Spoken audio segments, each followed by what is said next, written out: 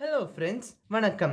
இப்போ நம்ம நம்ம வீடியோஸில் என்ன பார்த்துட்ருக்கோம் அப்படின்னா மோட்ஸ் ஆஃப் ஏசெக்ஷுவல் ரீப்ரொடக்ஷனுக்கு கீழே என்னென்ன டெக்னிக்ஸ் இருக்குன்னு பார்த்துட்ருக்கோம் நான் போன வீடியோவில் பட்டிங் ஜெம்யூல் ஃபார்மேஷன் அது வரைக்கும் முடிச்சிருந்தேன்.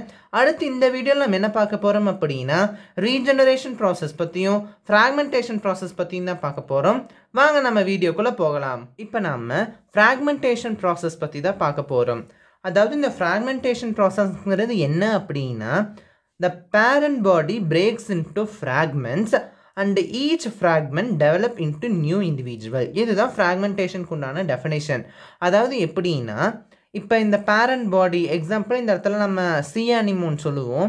இந்த பேரண்ட் பாடியில் இருக்கிற இந்த பாடி பார்ட்ஸில் ஏதாவது ஒரு பார்ட் வந்து சின்ன சின்ன ஃப்ராக்மெண்ட்ஸாக டிவைட் ஆகும். ஃப்ராக்மெண்ட்ஸ் அப்படின்னா சின்ன சின்ன பீசஸாக டிவைட் ஆகும். சின்ன சின்ன துண்டுகளாக டிவைட் ஆகும். அப்படி டிவைட் ஆகிற அந்த சின்ன சின்ன ஃப்ராக்மெண்ட்ஸ் ஒரு புது இண்டிவிஜுவலாக டெவலப் ஆகும். அந்த சின்ன சின்ன ஃப்ராக்மெண்ட்ஸ்க்கு புது இண்டிவிஜுவலாக டெவலப் ஆகிற அந்த சக்தி இருக்கும். அப்போ அந்த மாதிரி நடக்கிற இந்த ப்ராசஸ் தான் நம்ம ஃப்ராக்மெண்டேஷன் சொல்லுவோம். Parent body breaks into fragments parent பாடியில் ஏதோ ஒரு பார்ட் வந்து ஃப்ராக்மெண்ட்டாக பிரேக் ஆகுது. அப்புறம் fragment develop into new individual அந்த ஃப்ராக்மெண்ட் ஒரு புது இண்டிவிஜுவலாக டெவலப் ஆகுது. In sea anemones, fragmentation or pedal laceration takes place. sea anemonesல என்ன ஏசெக்ஷுவல் ரீப்ரொடக்ஷன் நடக்கும் அப்படின்னா ஃப்ராக்மெண்டேஷன் நடக்கும். இந்த ஃப்ராக்மெண்டேஷனுக்கு இன்னொரு பேர் என்ன கொடுத்துருக்காங்க அப்படின்னா பீடல் லாசரேஷன் இப்படின்னு பேர் கொடுத்துருக்காங்க. அது என்ன பீடல் லாசரேஷன் டவுட் வரலாம். இந்த பீடல்ங்கிறது என்ன அப்படின்னா இந்த பீடல் டிஸ்க்குன்னு ஒன்று இருக்கும். அந்த பீடல் டிஸ்கை தான் குறிக்குது. அதாவது இப்படி இதுக்கு பேர் இதுதான் சியானிமோன் இந்த சியானிமோனோட பாடி ஸ்ட்ரக்சரில் இந்த பேசல் பார்ட்டில் ஒரு டிஸ்க் ஷேப்டு ஒரு ஆர்கன் இருக்கும். இந்த டிஸ்க் ஷேப்டு ஆர்கனை தான் நம்ம வந்து இந்த பீடல் டிஸ்க் அப்படின்னு சொல்லுவோம். இந்த பீடல் டிஸ்கில் நிறைய லோப்ஸ் இருக்கும். லோப்ஸ்னால் நிறைய பார்ட்ஸ் சின்ன சின்ன பார்ட்ஸ் நிறைய இருக்கும். அந்த ஒவ்வொரு லோப்ஸும் தனித்தனியாக தனித்தனியாக செப்பரேட் ஆகும். தனித்தனியாக அந்த பேரண்ட் பாடியை விட்டு டிட்டாச் ஆகி வெளியே செப்பரேட்டாக வரும். அப்போ அந்த சின்ன சின்ன லோப்ஸ் எல்லாமே இந்த மாதிரி ஒரு புது சியானிமோனா டெவலப் ஆகும். அதனால தான் இந்த பீடல் டிஸ்க் மூலமாக இந்த ஃப்ராக்மெண்டேஷன் நடக்கிறதுனால இதை வந்து பீடல் லாசரேஷன் அப்படின்னு சொல்லுவோம்.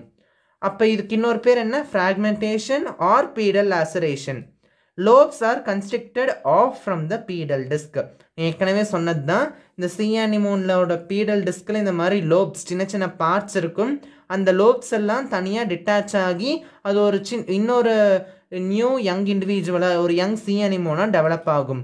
அடுத்து என்ன அப்படின்னா each lobe develops mesenteries and tentacles இந்த மெசன்டரிஸ்னால் என்ன டென்டக்கல்ஸ்னால் என்ன நமக்கு தெரிஞ்சிருக்கணும். அதாவது இந்த பேசல் இந்த பீடல் டிஸ்க் வந்து தனியாக டிவைட் ஆகுதுல்ல. அப்போ இந்த பேசல் பார்ட்டாக இந்த பேசல் பார்ட்டில் இருக்கிற இந்த பீடல் டிஸ்க் இப்படி தனியாக டிவைட் ஆயிருச்சு அப்படின்னா அது வந்து மெசன்டரிஸையும் டென்டக்கிள்ஸையும் டெவலப் பண்ணும். அந்த ஒவ்வொரு லோபும் மெசன்டரிஸையும் டென்டக்கிள்ஸையும் டெவலப் பண்ணும். இந்த மெசன்டரிஸ்ங்கிறது என்ன அப்படின்னா இந்த சியானிமோனுக்குள்ள இந்த சியானிமோனோட பாடியில் இருக்கிற ஒரு லேயர் மாதிரி இருக்கும் இந்த மெசன்டரிஸ்ங்கிறது இப்படி இந்த இடத்துல லேயர் மாதிரி இருக்கும் இந்த மெசன்டரிஸோட ஃபங்க்ஷன் என்ன அப்படின்னா அந்த சியானிமோனுக்கு ஒரு ஷேப் கொடுக்கறது. இப்போ நமக்கு எப்படி போன்ஸ் அந்த ஸ்கெலிட்டல் சிஸ்டம் நமக்கு எப்படி ஒரு ஷேப் கொடுக்குதோ அதே மாதிரியே இந்த சியானிமோட இந்த மெசன்டரிஸ் வந்து அதுக்கு ஒரு ஷேப் கொடுக்குது. அதுதான் இந்த மெசன்டரிஸோட ஃபங்க்ஷன் அப்போ இந்த ஒவ்வொரு இந்த பீடல் டிஸ்க்லேருந்து எடுத்த ஒவ்வொரு லோபும் இந்த மாதிரி மெசன்டரிஸை க்ரியேட் பண்ணும். அதுக்கப்புறம் டென்டக்கல்ஸையும் க்ரியேட் பண்ணும். டென்டக்கல்ஸுங்கிறது என்னென்னு நான் போன வீடியோவில் சொல்லியிருந்தேன். இந்த இடத்துல இந்த மாதிரி பிரான்ச்சஸ் மாதிரி இந்த ஸ்ட்ரக்சர்ஸ் எல்லாம் இருக்குதுல்ல இதுதான் டென்டக்கல்ஸ்னு சொல்லுவோம். இது மூலமாக தான் இந்த சியானிமோன் அதோ அதோட என்விரான்மெண்ட்டில் இருக்கிற அந்த ஃபுட்டு ஃபுட் பார்ட்டிகல்ஸ் அந்த ப்ரேன்னு சொல்லுவோம்ல அந்த சின்ன சின்ன ஃபுட் பார்ட்டிகல்ஸ் எல்லாம் கேப்சர் பண்ணி சாப்பிடும் இந்த டென்டக்கல்ஸ் மூலமாக அப்போ இந்த ஒவ்வொரு லோபு இந்த மெசன்டரிஸ் டெவலப் பண்ணும். அதுக்கு மேலே இந்த மாதிரி இப்படி டென்டக்கல்ஸை டெவலப் பண்ண ஆரம்பிக்கும். அப்போ இந்த மாதிரி ஃப்ராக்மெண்டேஷன் ப்ராசஸ் மூலமாக தான் இந்த சி அனிமோன் ரீப்ரொடியூஸ் பண்ணும். இப்போ நாம் டேப் பாம்பில் இந்த ஃப்ராக்மெண்டேஷன் ப்ராசஸ் எப்படி நடக்குதுங்கிறத பார்க்கலாம். இந்த டேப் பாம்போட பயாலஜிக்கல் நேம் வந்து டீனியா சோலியம் இந்த டேப் பாம்போட ஸ்ட்ரக்சர் இதுதான் இந்த டேப் பாம்பில் இந்த இடத்துல ஹெட்லெக் ஸ்ட்ரக்சர் ஒன்று இருக்குதுல்ல. இந்த ஹெட்லெக் ஸ்ட்ரக்சருக்கு என்ன பேர் அப்படின்னா ஸ்காலெக்ஸ் அப்படின்னு பேர். இந்த ஹெட்லைக் ஸ்ட்ரக்சருக்கு என்ன பேர் அப்படின்னா ஸ்காலெக்ஸ்னு பேர். அதுக்கடுத்து இந்த இடத்துல கண்டினியூஸாக இப்படி ஒரு டெய்ல் மாதிரி இருக்குதுல்ல. இந்த டெய்ல் லைக் ஸ்ட்ரக்சருக்கு என்ன பேர் அப்படின்னா ஸ்ட்ரோபிலா அப்படின்னு சொல்லுவாங்க. ஹெட்லைக் ரீஜியன் வந்து ஸ்காலெக்ஸ் இந்த டெய்ல் மாதிரி இருக்கிற இந்த ரீஜியன் வந்து ஸ்ட்ரோபிலா அப்புறம் இந்த இடத்துல இந்த மாதிரி ஹேர் மாதிரி போட்டிருக்கேன்ல இந்த ஹேர் எல்லாம் தான் ஹூக்ஸாக ஆக்ட் ஆகும். அதாவது கொக்கி மாதிரி ஆக்ட் ஆகும். எதுக்கு அப்படின்னா இந்த டேப்வாம் வந்து எங்கே வாழும் அப்படின்னா ஹியூமன் பீயிங்ஸ் அப்புறம் சில அனிமல்ஸ் இந்த மாதிரி ஆர்கானிசம்ஸோட இன்டெஸ்டைனில் அதாவது அந்த ஆர்கானிசம்ஸோட குடலில் தான் இதெல்லாம் வாழும். இது அங்கே ஏன் வாழுது அப்படின்னா அந்த இடத்துல இருந்துக்கிட்டு அந்த டிஷ்யூஸில் இருக்கிற அந்த பிளட்டெல்லாம் இதை வந்து சக் பண்ணும். அப்போ அந்த டிஷ்யூஸில் ஒட்டிக்கிட்டு இருக்கிறதுக்காக இந்த ஹூக்ஸை யூஸ் பண்ணும். அப்போ இந்த டீனியா சோலியன் அந்த மாதிரி ஆர்கானிசம்ஸோட பாடியில் ஒட்டிக்கிட்டு இருக்கிறதுக்காக இந்த ஹூக்ஸை யூஸ் பண்ணும். சரி இது இந்த ஆர்கானிசமில் எப்படி ஃப்ராக்மெண்டேஷன் நடக்கும் அப்படின்னா ஃபஸ்ட் இந்த இடத்துல இந்த மாதிரி நான் பாக்ஸ் பாக்ஸாக செக்மெண்ட் செக்மெண்ட்டாக போட்டிருக்கேன்ல இந்த செக்மெண்ட்ஸ்க்கெல்லாம் என்ன பேர் அப்படின்னா ப்ரோக்ளோட்டிட்ஸ் அப்படின்னு பேர். என்ன பேர்? ப்ரோக்ளோட்டிட்ஸ் அப்படின்னு பேர். இந்த ப்ரோக்ளோட்டிட்ஸ் எப்படி இருக்கும் அப்படின்னா அதாவது இந்த ஹெட்டுக்கு பக்கத்தில் இந்த ஆன்டீரியர் ரீஜியனில் இந்த டெய்லோட மேல் பகுதியில் எல்லாம் சின்ன சின்னதாக இருக்கும். அப்புறம் இந்த டெய்லோட பின் பகுதியில் பார்த்தா ரொம்ப பெருசு பெருசாக இருக்கும். அப்போ இந்த ஆன்டீரியர் பார்ட்டில் இந்த ப்ரோக்ளோட்டிட்ஸ் எல்லாம் யங்காக இருக்கும் இம்மெச்சியூராக இருக்கும் ஆனால் இந்த போஸ்டீரியர் பார்ட்டில் இந்த ப்ரோக்ளோட்டிக்ஸ் எல்லாம் மெச்சியூராக இருக்கும் அப்போ அந்த யங்காக இம்மெச்சியூராக இருக்கிறதுக்கு என்ன பேர் அப்படின்னா நம்ம இம்மெச்சியூர் ப்ளோக்ளோட்டிக்ஸ் அப்படின்னு சொல்லுவோம். இம்மெச்சூர் ப்ளோக்ளோட்டிஸ் அப்படின்னு சொல்லுவோம். அதுவே இந்த மாதிரி மெச்சியூர்டாக இருக்கிறதுக்கு என்ன பேர்? அதாவது ஓல்டாக இருக்கிற அதாவது ரொம்ப ஏஜ் அதிகமான இந்த பின்பக்கம் இந்த போஸ்டீரியர் இருக்கிற இந்த ப்ரோக்ளோட்டிக்ஸ்க்கு என்ன பேர் அப்படின்னா மெச்சூர்னு சொல்லுவாங்க. அப்படி இல்லைன்னா கிராவிட் ப்ளோக்ரோட்டிஸ் அப்படின்னு சொல்லுவாங்க. Mature proglottids or gravid proglottids அப்படின்னு சொல்லுவாங்க. அப்போ இந்த ப்ரோக்ளோட்டிட்ஸ் மூலமாக தான் இந்த டேப் பாம் இந்த ஃப்ராக்மெண்டேஷன் ப்ராசஸில் இன்வால்வ் ஆகும். எப்படின்னு பார்க்கலாம்.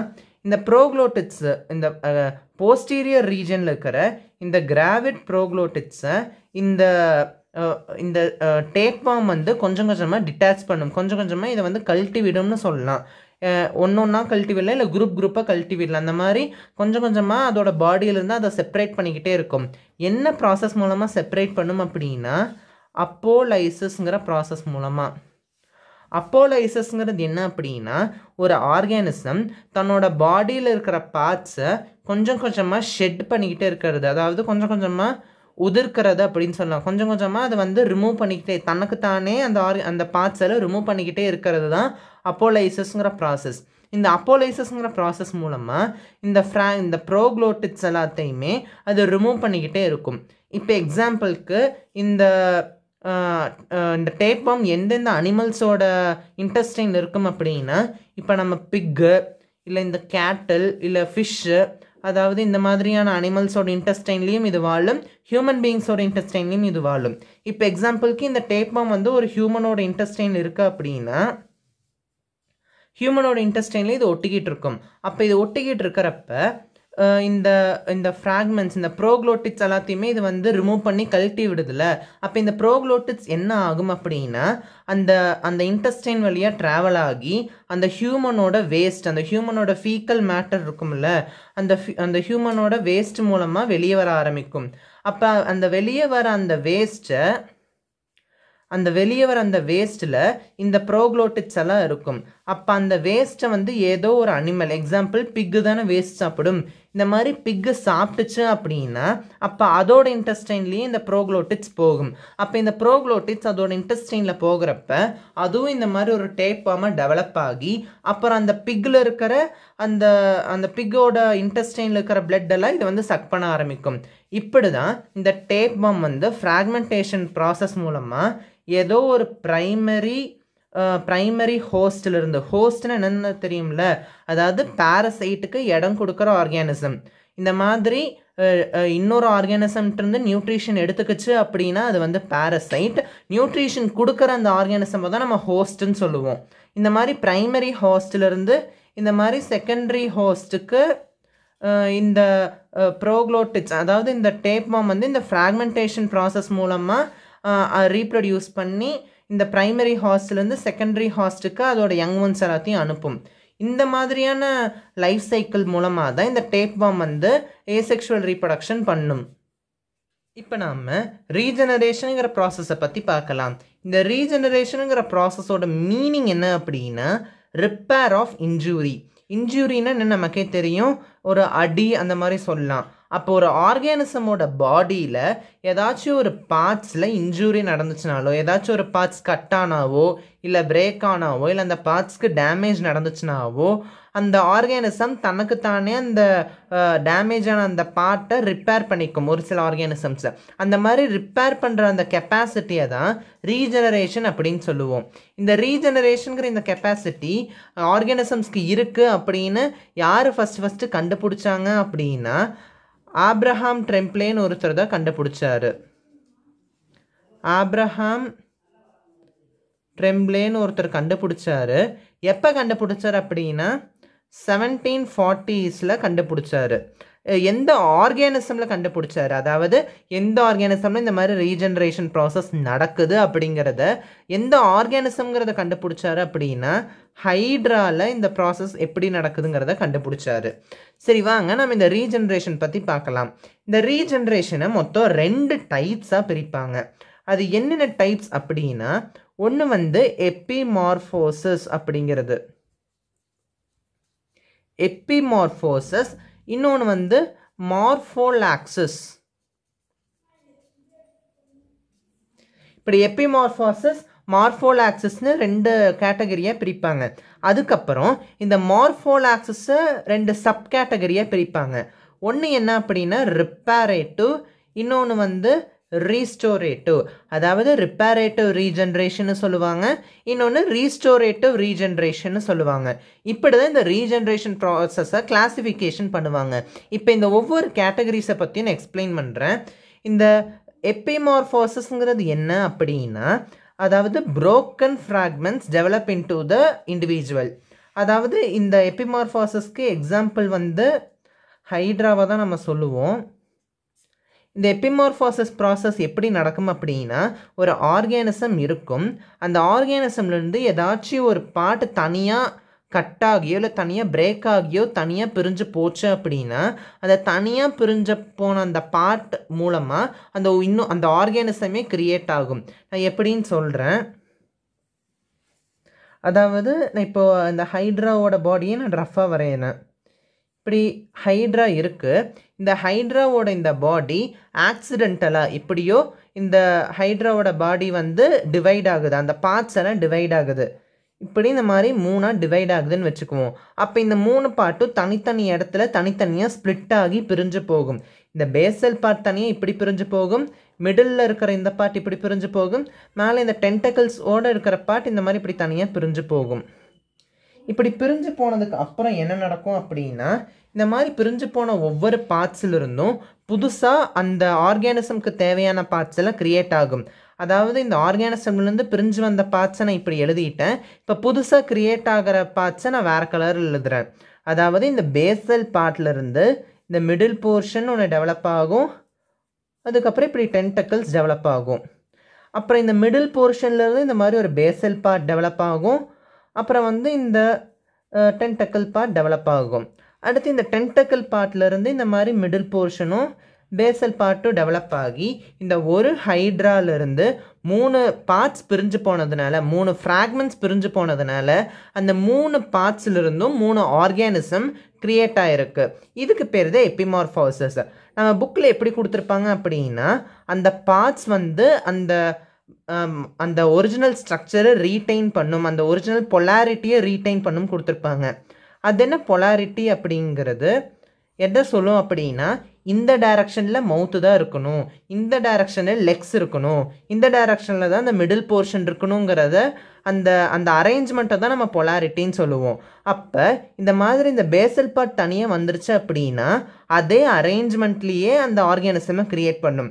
இந்த பார்ட்டில் இந்த மிடில் பார்ட் தான் இருக்கணும். அதுக்கு மேலே மவுத் தான் இருக்கணும்னா அதே அரேஞ்ச்மெண்ட்லேயே அந்த ரிப்பேர் ஆன அந்த டேமேஜ் ஆன பார்ட்ஸ் எல்லாம் ரிப்பேர் பண்ணும். இதுக்கு பேர் தான் பொலாரிட்டின்னு சொல்லுவோம்.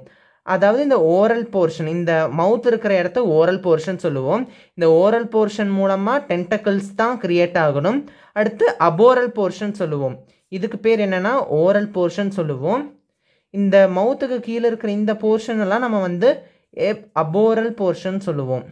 இந்த அபோரல் போர்ஷன் மூலமாக இந்த பேசல் டிஸ்க் பேசல் டிஸ்க்னு நான் சொன்னேன் இந்த இடத்துல இருக்கிற இந்த அடிப்பகுதி தான் பேசல் டிஸ்க் அப்போ இந்த ஓரல் போர்ஷன்லேருந்து இந்த டென்டகிள்ஸ் தான் க்ரியேட் ஆகணும். இந்த அபோரல் போர்ஷன்லேருந்து இந்த பேசல் டிஸ்க் தான் க்ரியேட் ஆகணும்னு அந்த பொலாரிட்டி அந்த அரேஞ்ச்மெண்ட் இருக்குதுல்ல இதுக்கு பேர் தான் பொலாரிட்டின்னு சொல்லுவோம். அப்போ இந்த எப்பிமார்ஃபோசிஸ் மூலமாக டிவைட் ஆகிற இந்த ஆர்கானிசம்ஸில் இந்த பொலாரிட்டி வந்து மெயின்டைன் ஆகும். அடுத்து என்ன நம்ம பார்க்க போகிறோம் அப்படின்னா இந்த மார்ஃபோல் ஆக்சஸை பற்றி தான் பார்க்க போகிறோம் இந்த மார்ஃபோல் ஆக்சஸ்க்கு இந்த எப்பிமார்ஃபோசிஸ்க்கு என்ன வித்தியாசம் அப்படின்னா ஃபஸ்ட்டு இந்த ஆர்கானிசம்லேருந்து இந்த பார்ட் பிரிஞ்சு போச்சு. அந்த பார்ட்டே ஒரு புது ஆர்கானிசமாக டெவலப் ஆச்சு. அது வந்து எபிமார்ஃபோசஸ் ஆனால் மார்ஃபோல் அந்த மாதிரி அந்த பார்ட் மூலமாக ஒரு புது இண்டிவிஜுவல் டெவலப் ஆகாது. இப்போ எக்ஸாம்பிளுக்கு நம்ம வந்து ஸ்டார் ஃபிஷ் எடுத்துக்கலாம். இப்போ அந்த ஸ்டார் ஃபிஷ்ஷோட பாடி இப்படி இருக்குது அப்படின்னா இந்த மாதிரி ஸ்டார் ஷேப்பில் இருக்குது அப்படின்னா இந்த இடத்துல இந்த ஒரு ஆம் மட்டும் தனியாக பிரிஞ்சு போயிடுச்சுன்னு வச்சுக்குவோம். ஒரு ஆம் மட்டும் தனியாக பிரிஞ்சு போயிடுச்சு கட் ஆகி பிரேக் ஆகி போயிடுச்சு அப்படின்னா இந்த இந்த சின்ன ஆம் மூலமாக இந்த ஸ்டார் ஃபிஷ் உருவாகாது. இந்த எபிமார்ஃபாசஸ் மாதிரி மார்ஃபோலாக்சிஸில் இந்த மாதிரி ஒரு ஆம் உருவாகாது. அதுக்கு பதிலாக என்ன ஆகும் அப்படின்னா இந்த ஒரிஜினல் ஆர்கானிசம் இருக்குதுல்ல இந்த ஒரிஜினல் ஆர்கானிசமே இந்த பிரிஞ்சு போன பார்ட்டுக்கு மேலேயே அதே மாதிரியே இன்னொரு பார்ட்டு அதே மாதிரியே இன்னொரு பார்ட்டை இதுக்கு மேலே இப்படி டெவலப் பண்ணிக்கும். அதாவது ரிப்பே அந்த டேமேஜ் ஆன அந்த பார்ட்ஸை அதுவே ரீஸ்டோர் பண்ணிக்கும் அதுவே ரிப்பேர் பண்ணிக்கும். அதுதான் இந்த மார்ஃபோல் ஆக்சஸ் இந்த மார்ஃபோல் ஆக்சஸை ரெண்டாக டிவைட் பண்ணியிருப்பாங்க. அது என்னென்ன அப்படின்னா reparative ரீஜெனரே reparative regeneration restorative regeneration ரெண்டாக டிவைட் பண்ணியிருப்பாங்க. இது ரெண்டுக்கும் என்ன மீனிங் அப்படின்னா ரிப்பேரேட்டிவ் ரீஜெனரேஷனில் ஒரு சின்ன சின்ன டிஷ்யூஸோ இல்லை சின்ன சின்ன செல்ஸோ அந்த மாதிரி டேமேஜ் ஆனவனா வேணால் ரிப்பேர் ஆகும். பெரிய பெரிய டிஷ்யூஸ் வந்து ரொம்ப சிவியராக டேமேஜ் ஆச்சு அப்படின்னா அது மூலமாக எந்த யூஸ் இருக்காது.